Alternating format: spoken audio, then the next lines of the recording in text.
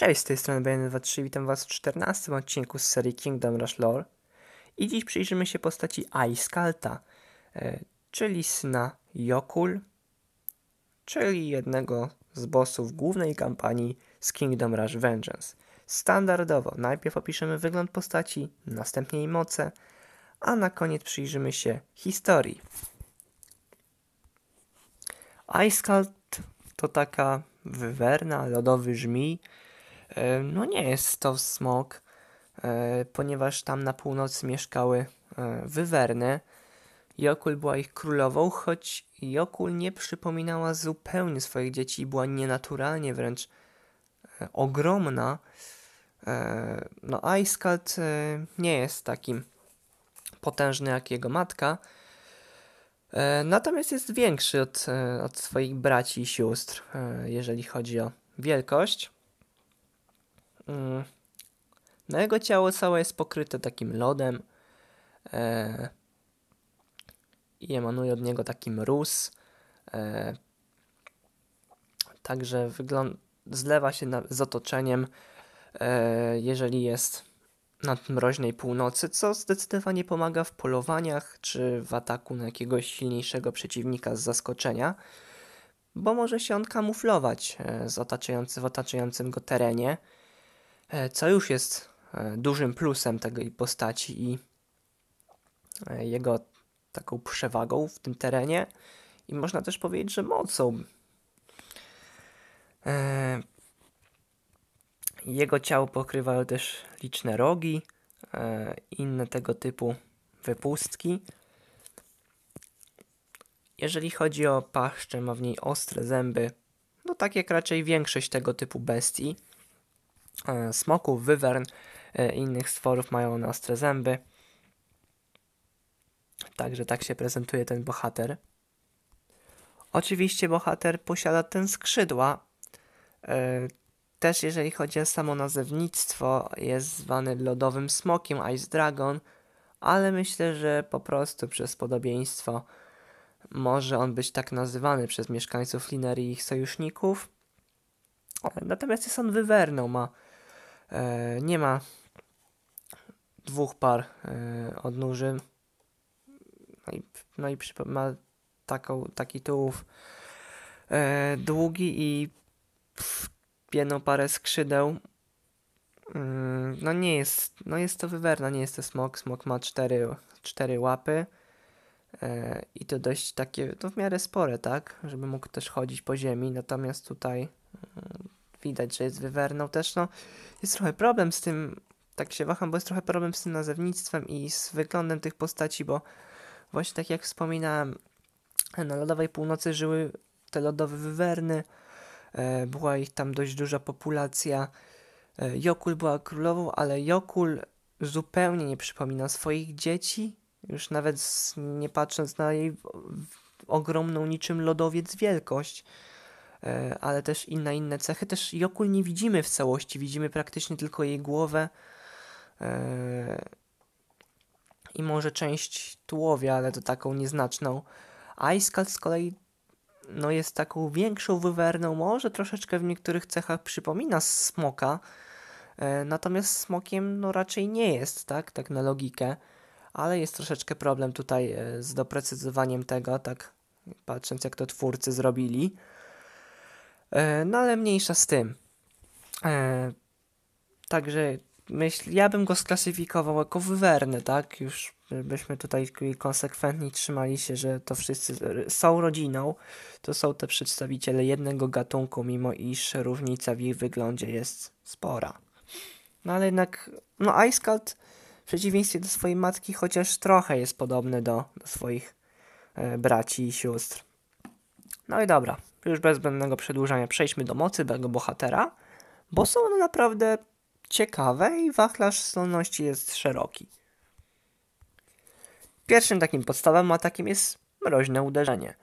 E, jest to taki obszarowy e, atak Aiskalta. No, tak jak smoki ogniste potrafią wziąć ogniem, tak smoki, tak wywerny, takie czy lodowe smoki, e, jakbyśmy nie zwali, no to właśnie mają przeciwną zdolność, czyli zianie lodem, takim chłodem, mrozem. Też możemy to nazwać Fierce Breath. I taką nazwę nosi ta zdolność w wersjach mobilnych tej e, gry. Bo Ice Cat jest oczywiście bohaterem, e, nie jest to boss, tak jak jego matka, e, natomiast jest bohaterem dostępnym w grze Kingdom Rush Vengeance.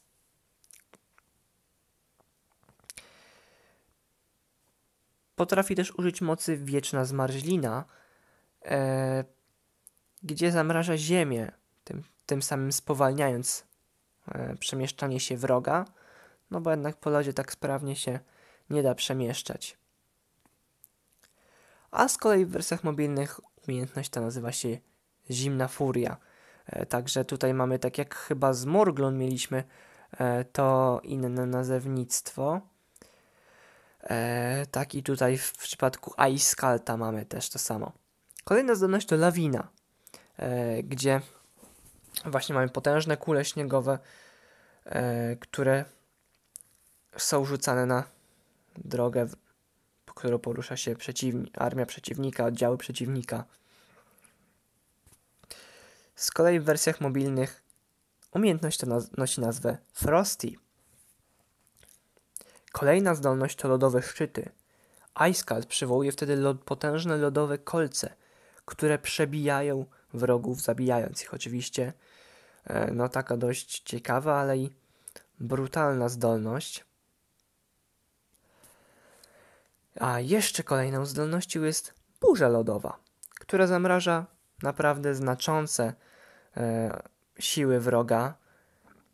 Także tutaj Icecald jest naprawdę potężnym sojusznikiem i nie ma się co dziwić, że i jego Weznon zwerbował do swojej armii, a także nie ma się dziwić co tym, że z pomocą takiej żywej broni ostatecznie zatriumfował. Kolejną zdolnością jest no też taka w sumie podstawowa lodowy oddech, mm, gdzie zam wrogowie zamarzają, odmarzają e, i też są co najmniej spowalniani, a też i mogą zostać pokonani ostatecznie.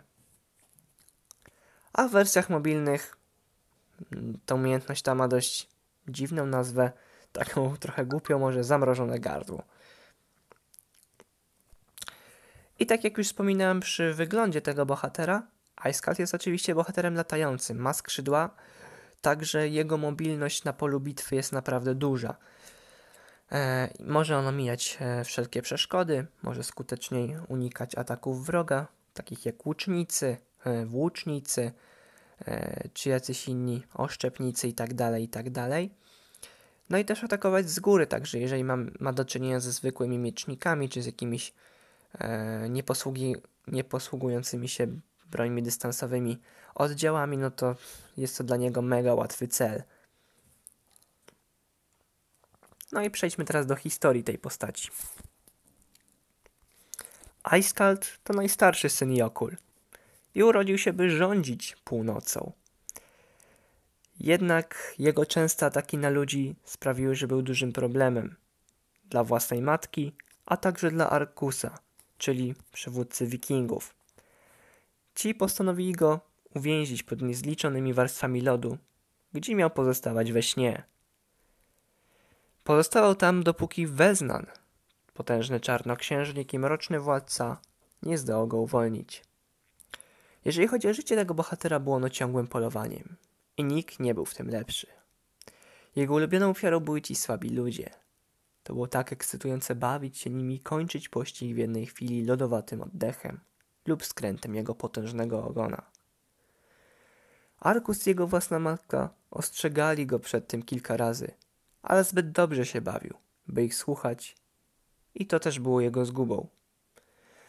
Za te swoje liczne występki został właśnie uwięziony pod warstwami lodu, gdzie spał, aż przybył Weznan. Jokul i Arkus zostali pokonani, a Icecald został uwolniony. Teraz, może teraz mógł uwolnić swój przeszywający zimny gniew przeciwko wrogom Weznana i czarnoksiężnik zapewnił mu, można powiedzieć, rozrywkę, bo lubił zabijać, lubił pokonywać wrogów I to też zapewnił mu Weznan, który wrogów miał całą chmarę do pokonania. I to zarówno ludzi, jak i elfy, jak i krasnoludy. Chociaż krasnoludy akurat zostały pokonane przed... E, większość krasnoludów została pokonana przed e, zdobyciem północy, ale później jeszcze mieliśmy te prehistoryczne krasnoludy. Weznan dotarł do tej prehistorycznej krainy. E, przeciwko Anurianom też mógł walczyć. Także wezmę tak jak samo jak w przypadku Murglun, czyli bohaterki jednego z poprzednich odcinków, chyba 12, miał do dyspozycji kolejną taką potężną, żywą broń. No i przejdźmy teraz do ciekawostek e, na temat tej postaci. Eiskalt w języku niemieckim oznacza zamarzanie albo zamrażanie, e, a dosłownie z kolei znaczy lodowaty. Icecald to dwunożny smok sklasyfikowany jako wywerna, także tutaj miałem e, właśnie rację. E, I tak jak wcześniej tłumaczyłem, no to ma dwie nogi, parę skrzydeł. I tutaj też mamy to, o czym mówiłem, to, to jako, co znalazłem jako ciekawostka, to też nawiązuje do tego, co mówiłem wcześniej, troszeczkę po, po części, że matka właśnie Aiskalta, czyli Jokul, jest wymieniona jako matka Wywer. No i mimo że są te e, takie troszeczkę no, problemy, patrząc na, na wygląd, mogą się nasunąć jakieś wątpliwości, e, to twórcy, twórcy gier e, sklasyfikowali wszystkie te postaci jako, jako wywerny. I w drugiej części ciekawostek e, skupimy się już na cytatach naszego bohatera. Pierwszym z nich jest zemsta najlepiej smakuje na zimno, no co jest dość powszechnie używanym przysłowiem. Kolejne to natomiast to jest zimna wojna. E, ten cytat jest dość ciekawy, ponieważ nie jest to ani odniesienie do konfliktu historycznego, ani też e, do żadnej piosenki.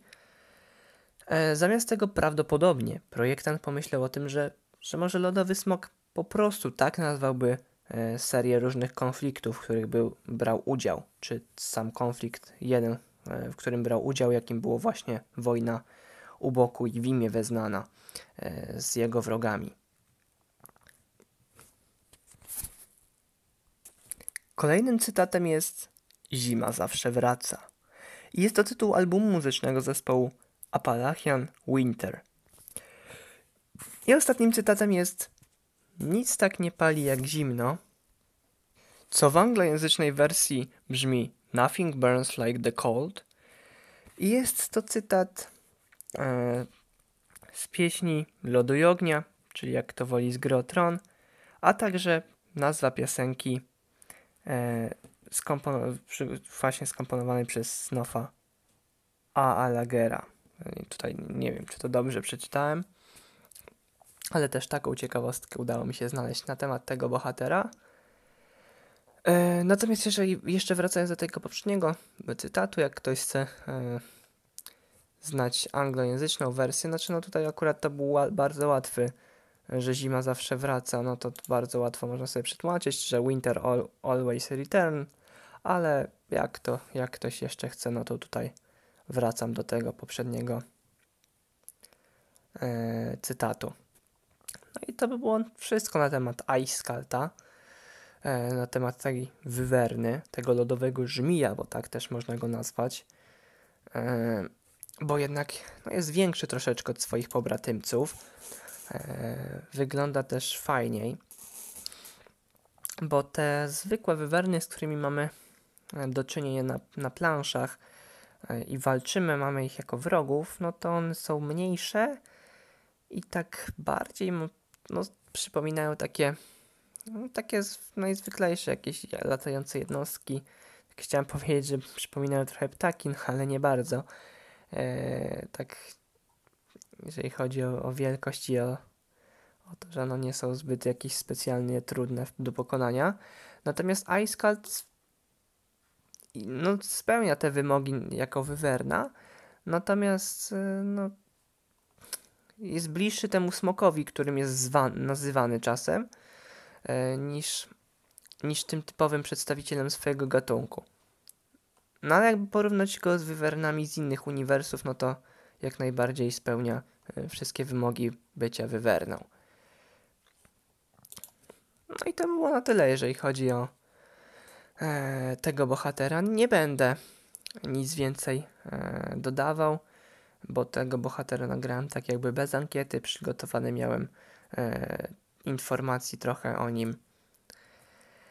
Prze, przed, e, nawet przed nagrywaniem chyba odcinków o Denasie, to o Icekalcie to przygotowałem e, informacje chyba w tym samym czasie, co szykowałem o Pajęczej Bogini, o Blackbernie i o, o Murglun. E, tak to wyglądało. I myślę, że wstawię może tego samego dnia, co Denas wleci, albo kolejnego.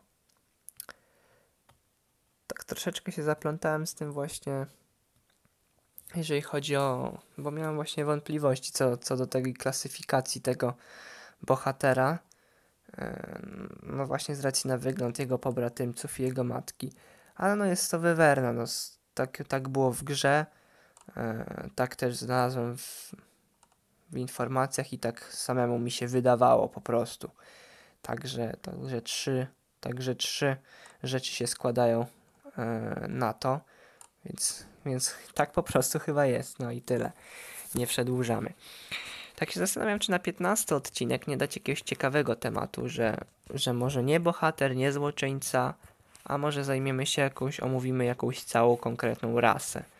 E, to wtedy byśmy mieli taki dłuższy materiał, także możecie powiedzieć, co o tym sądzicie. Albo ewentualnie, chociaż no, o miejscach też nie, w większości miejsc nie mamy tak dużo napisane, chyba żebyśmy omówili jakieś większe fragmenty terenu, większe fragmenty świata.